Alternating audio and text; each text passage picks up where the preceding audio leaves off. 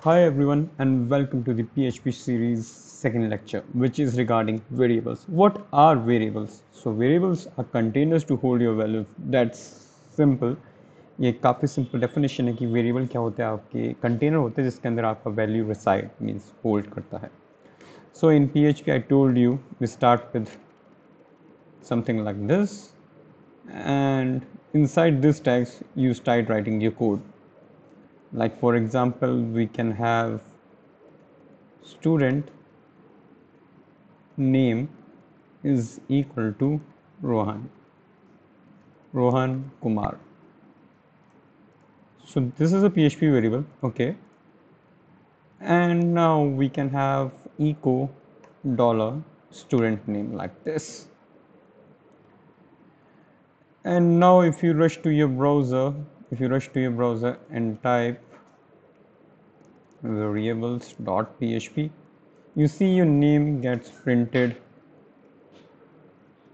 here on the page.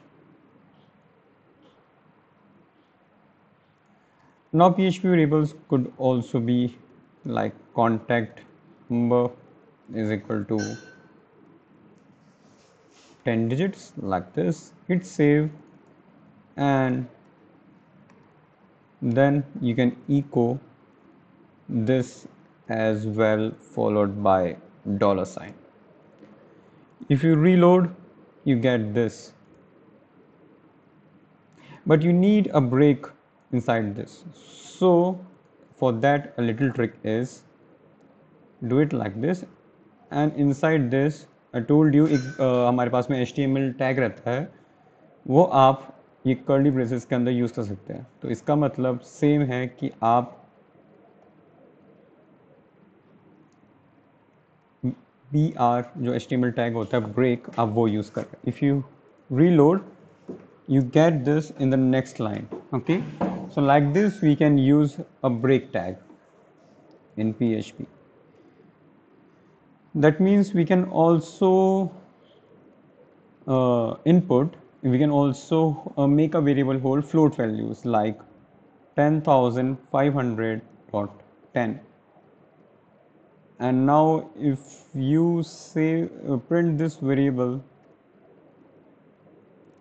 and I will also put one break in between of these variables and I reload they also hold float values as well So this way you can make PHP variables and then perform certain operations. For example, I have a PHP variable, let's say uh, total records. Total records is equal to let's say 10,000. Okay.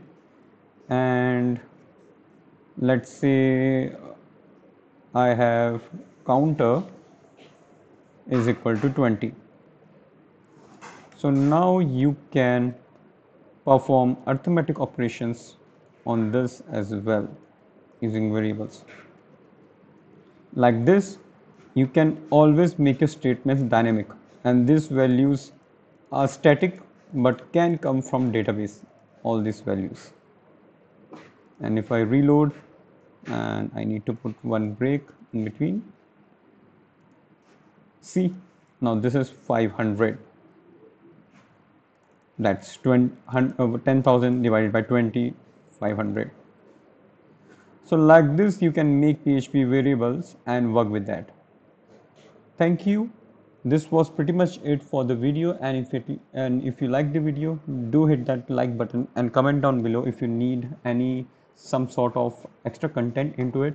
And i will see you in the next video. Please do like and share my channel and I will see you with the next topic in PHP.